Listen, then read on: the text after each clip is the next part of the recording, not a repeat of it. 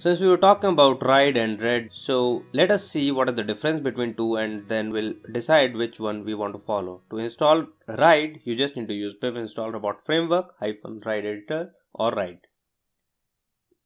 Now this is ride and this is how your test cases would look like on ride which is robot IDE default IDE which has various panels and a view of Excel like format where you can see your test cases in that format as well as text format.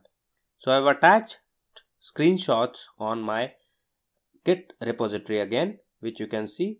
Secondly, you can also download the other editor which is red from the link given on the repository itself. Now this is the view of this second editor which is red. It is actually Eclipse based where you can see the outline on the right part and on the left part of it you can see a project explorer now choice would always be yours that which one you prefer but as per my experience I prefer red over but if you find ride better go with it.